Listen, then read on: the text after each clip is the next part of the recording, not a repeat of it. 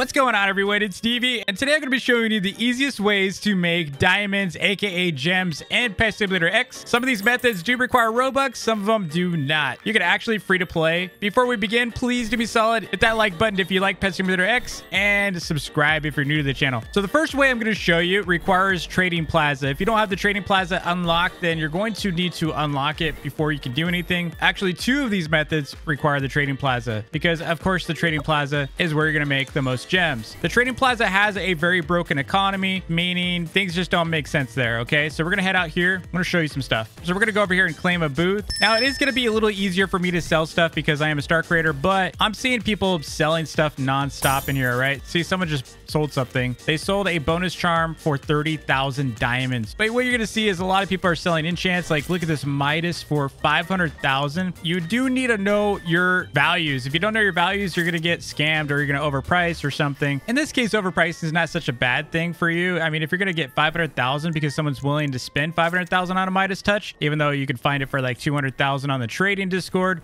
I mean, all the more to you, right? You can see right here, someone's selling eggs right here, the dragon egg. I'm going to be covering this shortly, but they're selling it for 250,000. They don't really go for 250,000 gems, okay? Like you see them for all kinds of prices. You see them for 60,000, 80,000. Um, I was selling them for 80,000 earlier. You can sell them for 100,000, 150,000, 200,000, maybe 250,000 is a little overpriced as of this video. Prices change every day. So tomorrow it could be 250,000. You can see people are selling their hoverboard skins. You can see people are selling these lightning enchants here. Yeah, there's like lots of stuff. You can sell your exclusives. So selling here is going to be the easiest way as usual. No surprise. This is the same way people are making the most, you know, diamonds and Pet Sim X. Now we're going to come over here. We're going to sell some stuff. I'm going to give you some tips on things that people are usually looking for, right? Because I'm usually looking for these things. First thing you want to take a look at is going to be your enchants. Now, if there are high level enchants you're not really caring about, say for example, you don't really need a whole lot of coins. Maybe you're not really hatching a lot. I mean, I have half a million of these platinum bars. I mean, if eventually we're going to need these, but I don't really need them, need them, okay? So I don't really care about those as much. Speed, I don't really care about because I got plenty of speed. I've got two blasts. Um, this one's pretty good for taps, but if you don't use taps, then you don't need any of your tap enchants. Like, look at this one right here relies on taps. Lightning relies on taps. So if you don't use taps, blast relies on taps. Um, this tap teamwork relies on taps. Any of these tap ones, you can get a lot of, you know, gems for if you have them. So don't just hold on to them if you don't need them. Now, before you sell these, you do need to check values. And unfortunately, most of the value sites are still working on their value list. So here's what I recommend. You should head on over to the Big Games Discord server. Go down to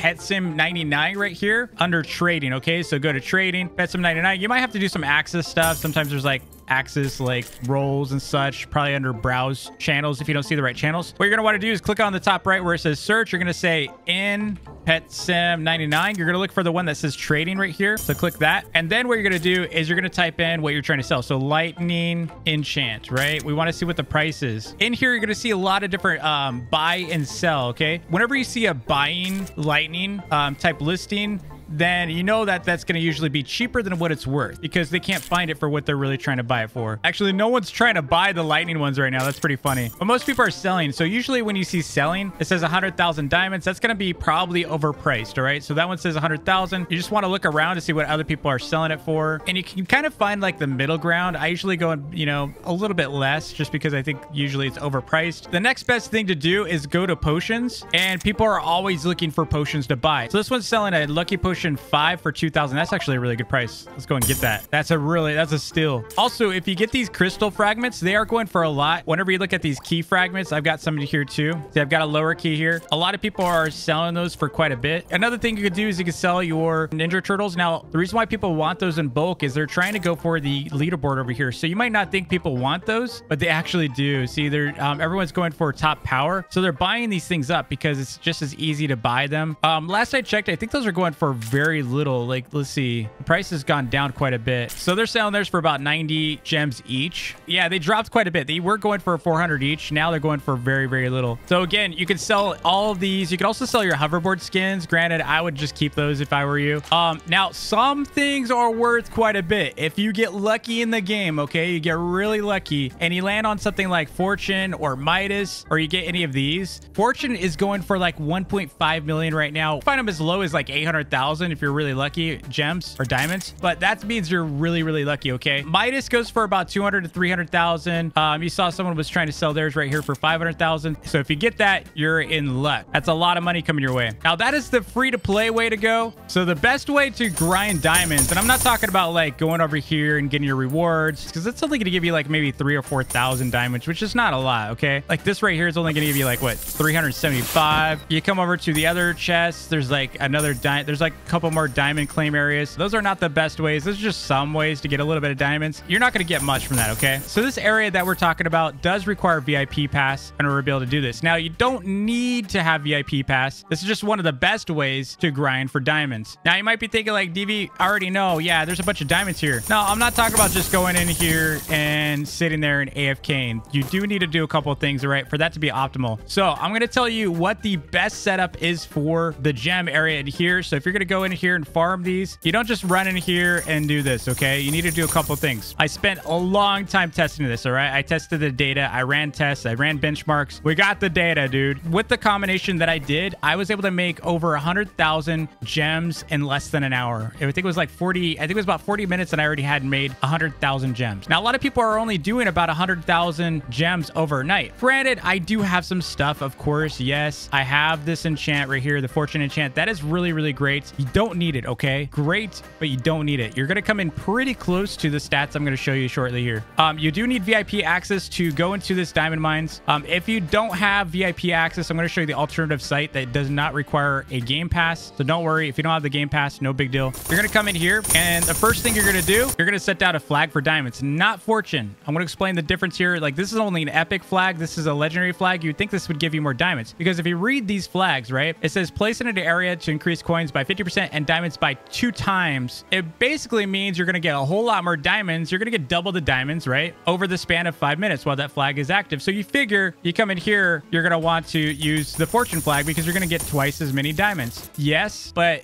I already ran that test, okay?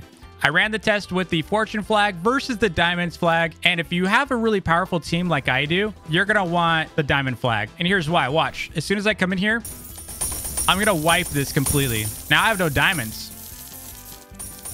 It's like they, they trickle in. See? Look how slow that is. But if you're going to use the diamond flag, you're going to spawn twice as many diamond breakables. So these are going to spawn in faster. They're going to creep in faster. So your guys are moving a lot more. They're a lot more active. And when I ran this test, the diamond flag did 30% more than the fortune flag. So you don't want to use the fortune flag here. You want to use the diamond flag if you have a powerful team.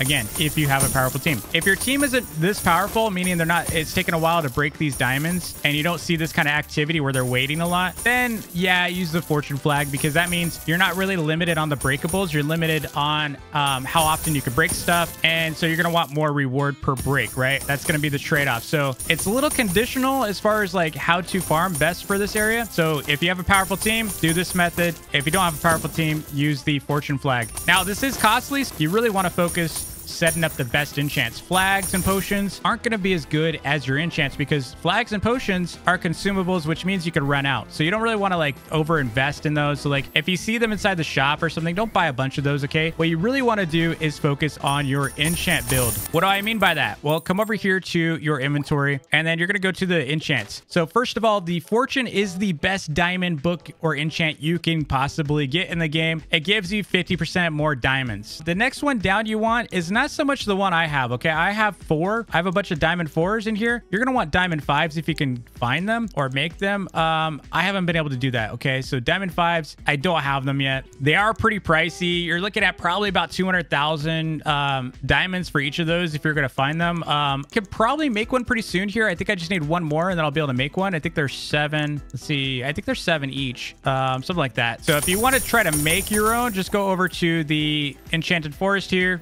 Again, this is why you always want to go and buy enchants from the, the vending machines or claim your free enchants inside the water, under the water. Um, but you go in here and you can see I need seven in order to be able to make my diamond five. Now, don't do that unless you have like a whole team of these, okay? Like it's always going to be better whenever you're doing these enchants. It's always going to be better just to have more of them because they do stack. Because if I just um, combined all these, I would be stuck with using what what's my next diamond level? I would be stuck with 25% instead. So I'd trade all these just to have one book more powerful and then I would have a bunch of 25 percenters and then maybe 20 percenters. It's not worth it. If you have like, um, I would say six more of these, then it's worth upgrading one of these, okay? So make sure you store up at least six more of these, then merge these um, or upgrade into one and then replace that one and do it over and over and over again. Or if you could buy them, great. Otherwise, just keep upgrading these. Like, you know, you come over here and just keep upgrading the diamond ones. So I've got enough right here. Made it two. So yeah, these do stack. Um, this is the best build right now. If you don't have fortune, no big deal. It's just 50% more, okay? You can still have these 30 percenters, or if you don't have those, these are fine too. Just make sure you're always using your uh, diamond ones when you're grinding diamonds in the area. Now, I don't know if Midas works for this um, because Midas does make stuff turn into gold, which I believe will actually give you even more bonus. So I think running this with Midas, I haven't tested it yet. Let me know in the comments below if someone's tested that with fortune. I think Midas would actually be really, really powerful with this. I believe it's going to give you even more bonus diamonds if it can make those breakables gold. I don't know. I, have never seen that happen, but you never know. You also want to do a couple other things. You can see I've got oranges active here. We got a tasty snack for your pets. Boost diamonds by 1%. That's not a lot, but hey, it's 1% more diamonds, right? In my case, I did about 128,000 gems or diamonds in an hour. So if you think about that, that's just an extra thousand for me, right? On top of that, this stacks. So rainbow fruit does all of the fruits in one. So you add that, that's basically 2 2%. So now you're getting another extra 1% on top of that. You might as well be using it because you're probably going to have as many as I do. Like, look, look how many fruit. I have 242 of these. I've got way too much of this stuff. Like, even these, I had like, I think I had like 70 of these when I used them. Um, additionally, you do want to use a diamond potion if you can. Um, if you have the four, then use the four. This is 50%. I was just using diamonds potion too. It just gives you an extra 20%. I mean, if you think about the percentages here, if you're going to make 100,000 per hour, 20% more of that is pretty good, right? Diamond 1 is only 10%, so just use whatever potions you have. If you don't have access to VIP, the second best place is going to be stage 50. Now, some people were saying they were getting more diamonds off of stage 50, the dojo, but I don't believe it because I ran tests and I made more in the VIP zone. It's possible that they have a weaker team, and so this area is better for them for some reason. I'm not really sure. You got to remember, pets don't do as much damage to diamonds. So if you were to look at like my Titanic, he only does 47 damage to diamonds. So you can't really look at it the same way. Um, if your pets are kind of weak inside the VIP lounge, if it takes a long time for them to break stuff, then yeah, maybe you're going to have better luck over here inside the fire dojo. You're probably getting a lot more chests over there and such and getting a lot more luck. So for those of you with deep pockets, maybe you have a job and this is your thing that you like to spend your money on. Maybe you don't have anything else to spend your money on, but this and this is your daily entertainment. No judgment here. I spent a lot of money too. I spent a lot of money too. But the best way to do this is not going to be through buying diamonds, okay? Don't do this. Don't buy the super diamond pack. Let me tell you, it's terrible. It's a terrible deal. It always has been. What you're going to want to do is go up here, buy dragon eggs. If you only have 400 Robux, fine. That's just one egg, but it's still going to be a lot more, okay? So for 400 Robux, you can get about, I want to say, anywhere between 150,000 diamonds all the way up to maybe 250,000. In contrast, for 450, if you bought the diamonds, it would only be 25,000. Like, that's crazy, right? If you bought the 3200 for 10 eggs, you could probably make about 1.5 million to 2 million plus on diamonds just off those 10 eggs for 3200 so this is really the way to do it and uh, i'm going to show you how to do that right now. All right so we just bought 10 eggs here. What we're going to do is we're going to head over to the marketplace dude. Now a lot of people are selling these for 250,000 each. Why? Because people are starting to get rich in this game and they want the eggs. I would say two days ago this was impossible. Like most people couldn't afford one of these eggs period. So we're going to come over here. We're going to claim our booth. Boom. We're going to make a listing and we're just going to test the market all right? We're going to test it. We're going to start with 200 200,000. So there's our first 200,000. Let's see what happens. See if someone buys that. If you have VIP, you could pretty much hang out over here and annoy people with your Titanic if you have one. if your egg is not selling, you can always reduce it, of course. We're going to go and try a couple test prices. All right, so we're going to list our egg for 150,000. This should sell pretty easily. We'll go and put some in here. Not everyone can afford these. So if someone says, oh my gosh, they're so expensive, usually it's because they can't afford it, okay? So don't worry about it if people are like, I can't. Or they start asking you and begging you to like lower your price. I mean, that's usually how it goes. It looks like we sold two of them so far. I was just, sometimes you just kind of have to AFK, you know? You don't have to be like impatient about it. Just AFK AFK for a bit and things happen. It's way better to be patient. Looks like we sold another one. So you can see this guy's selling his eggs for 250,000. So what we're going to do is we're going to be pretty strategic about this. We're going to set up right behind him and we're going to make our listings 150,000. That way someone sees like, dude, this guy's selling for 100,000 more. This is a steal. 50,000 for the keys. See, we're selling those right now. Just, I literally just listed them too. Look at that. 150,000, 150,000. So we could leave this going for probably like another 30 minutes, just AFK it. And we would sell out all of our eggs here. We only have four left. And look, I have 1.7 million now. That's how fast it is. So this is the fastest way to get diamonds in the game currently, but it is pay to win. You have to essentially buy eggs and you sell those eggs for diamonds. This is how most of the pros in Pet Sim X did it is they would buy a bunch of eggs, they would sell them for a ton of diamonds, and that's how they would be able to get their Titanics and such. Little trade secret, okay? Trade secret. That same strategy works in Pet Simulator 99, and it's going to work even better pretty soon. Anyway, I hope this video was helpful to you. Please let me know if you have any other tips to share with the community in the comments below. Maybe I'll do a follow-up video, maybe a part two of this as we learn more about Pet Simulator 99. Until next time, happy grinding. Peace.